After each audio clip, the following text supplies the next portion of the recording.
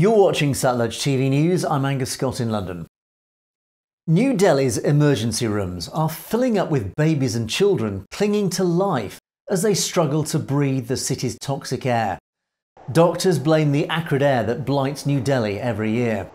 The Spartan emergency room of the government run Chacha Nehru Bal Chikitsalaya Hospital in the Indian capital is crowded with children struggling to breathe, many with asthma and pneumonia, which spike as air pollution peaks each winter in the megacity of 30 million people.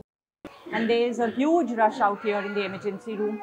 Many times we don't even have place to, you know, stand and see. It's it's huge. It's a maddening rush that we have in our emergencies during this time.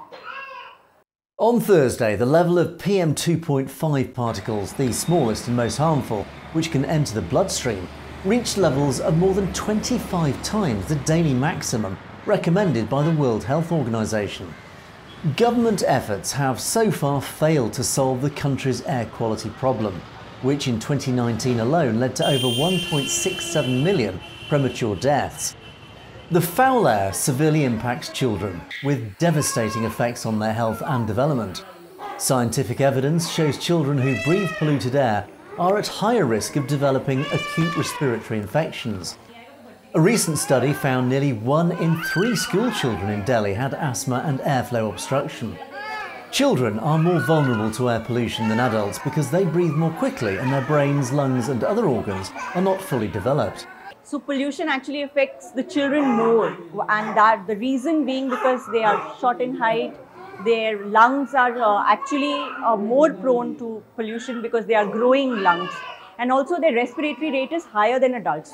They can't sit at one place; they will keep running, and with that, their respiratory rates will increase even more. So that is the reason they are more prone to the effects of pollution. The Delhi government has announced emergency school closures, stopped construction, and banned diesel vehicles from entering the city in a bid to bring down pollution levels. But stubble burning by farmers in the neighbouring agrarian states, which contributes significantly to Delhi's pollution, continues unabated. Drawing a rebuke from the Supreme Court on Tuesday, in a damning statement, the court said that Delhi's choked air is resulting in the complete murder of our young people. You've been watching Satluj TV News and don't forget to click on that subscribe button to make sure you get to see stories as they're broadcast. And of course, if you have any comments or opinions on any of our news stories, you can comment below or indeed drop us a direct message at message at satlujtv.com. We would love to hear from you. In the meantime, thanks for watching for Satluj TV News. I'm Angus Scott in London.